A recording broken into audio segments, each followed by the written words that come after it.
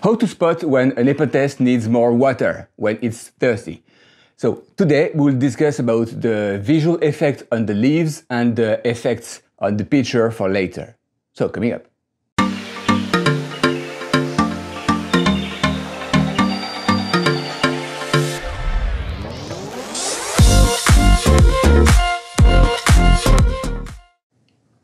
Hi, if you are new to my channel, my name is Remy and I've been growing carnivorous plants since I'm 16. I've been focusing on windowsill Nepenthes since I moved to Canada.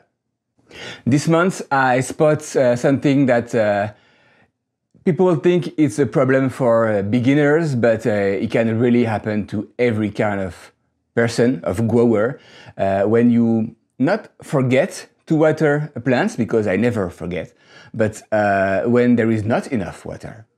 So for example, for me, it was the, the leaves that were so uh, big and uh, protecting the substrate that the water was never reaching the, the substrate. And then slowly but surely it starts drying out.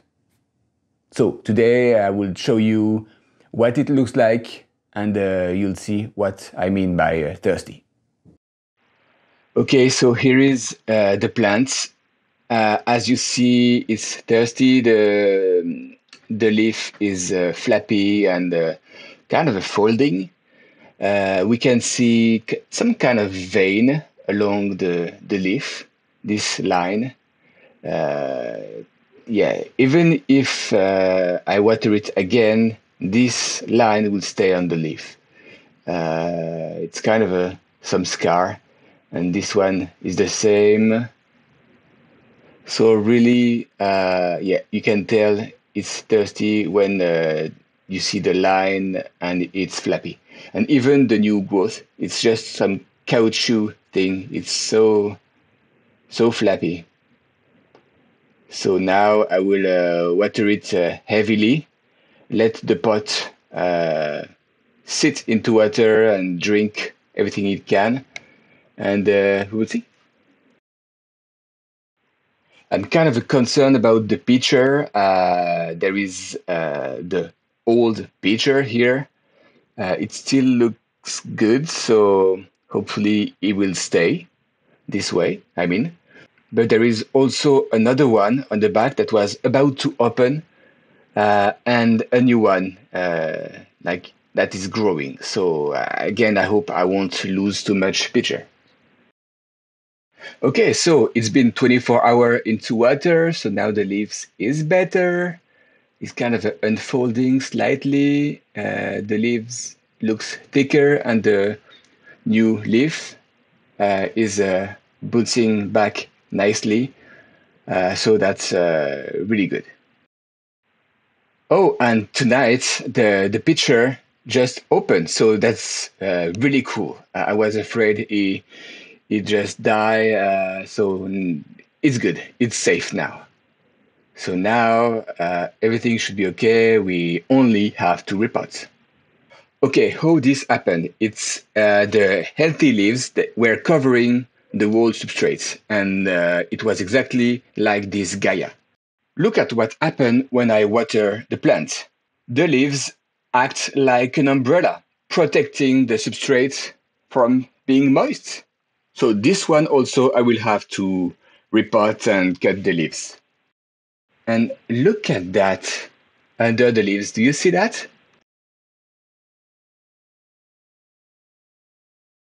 Let's look at what is under this big leaf. Okay, we have a basal shoot. So we will have to repot and cut this basil because clearly it's not getting any light from the top, any water. So that's going to be for next week video. Okay, now let's repot the other plant. Okay, so why this plant dry out? Uh, because uh, I've been growing it for a few years and everything was okay. Um, first, ah, okay, the pitcher fall and now that's disgusting. It's okay it happened like this gooey juicy okay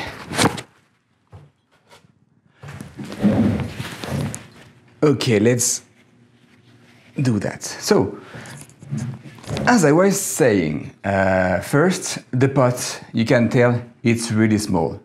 Um, it's definitely outgrown the pot, and all the roots are taking much space than the sphagnum.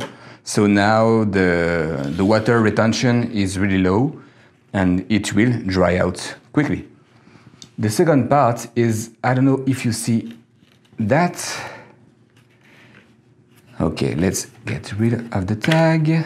Here, all the leaves, the old leaves, were still green, so I let them uh, stay because they were getting some um, some nutriment from the light some energy from the light, but uh, then it was kind of protecting the substrate to, to receive directly the water when I was watering from the top.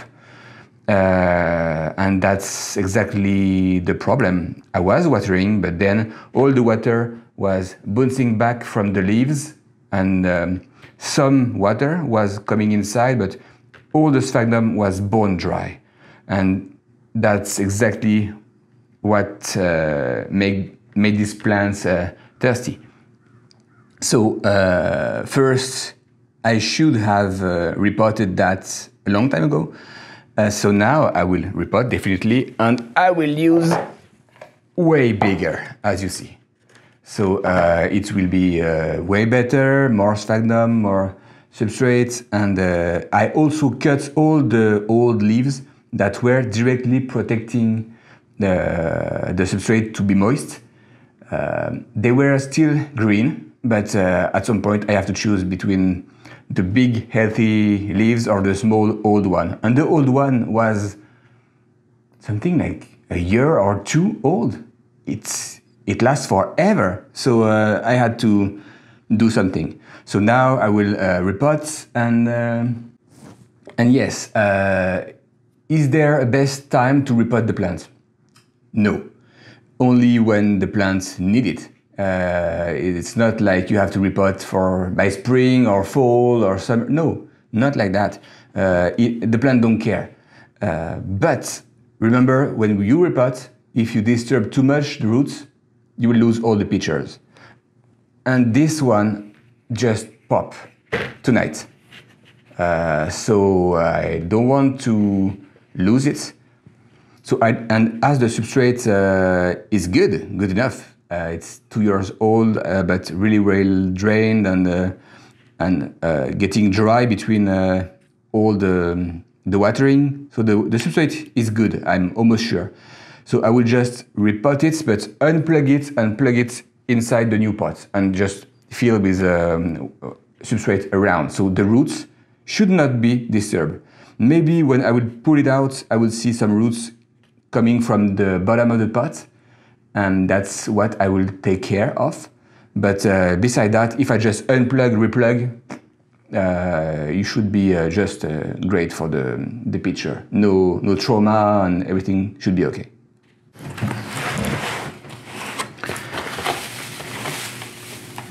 Okay, so regular media here, um, mostly perlite sphagnum, as you know it's exactly what I always use.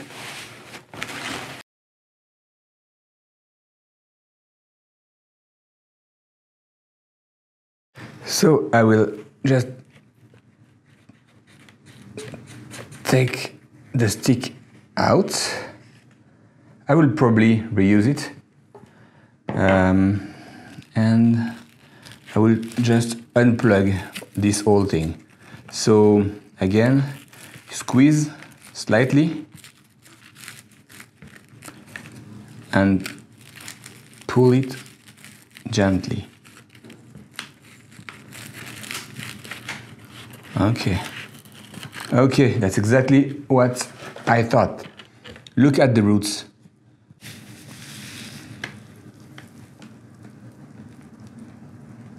And take as much water out as you can.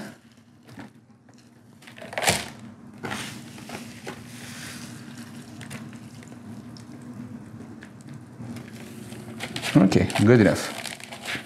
And make it fluffy. Don't put everything compact.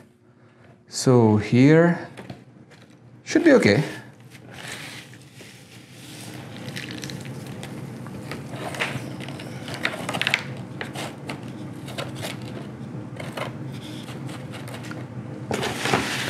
I really hope everything will be fine, will be okay with the new pitcher, but if not, well, it's not like it's the last one of the season.